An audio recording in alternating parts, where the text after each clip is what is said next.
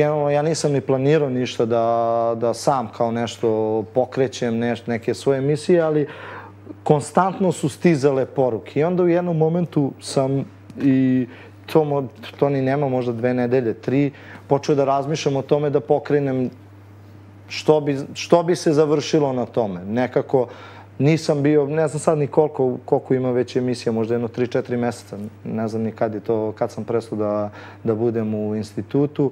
Uh, generalno nisam ni razmišljao da ću snimati u zadnje dve, tri nedelje od tih komentara i to sam pomislio što ne bi pokrenuo nešto svoje.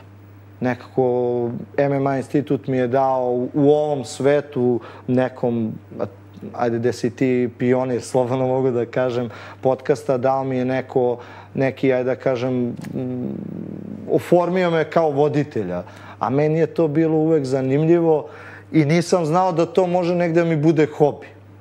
Slobodno mogu da kažem, jer pričam o stvarima koje volim, u koje se razumem, za koje živim. 15 godina, 13 godina se takmiči, od 14 sad sam tu u organizaciji kroz MMA Savez i sve i onda ovaj, nekako se ovo stvorio kao hobi da mi se sviđa da, da jednostavno dovodim goste da pričam o raznim temama i tako se i rodila sad ideja u poslednje vreme da sam stvarno mislio da trebam da nastavim nešto mm, i ne, da ne otkrivam sve, vidjet ćete u skorijem periodu, e, planiram da pokrenem. Neće biti klasičan podcast, gde će samo biti o, o, ovaj, o gostima.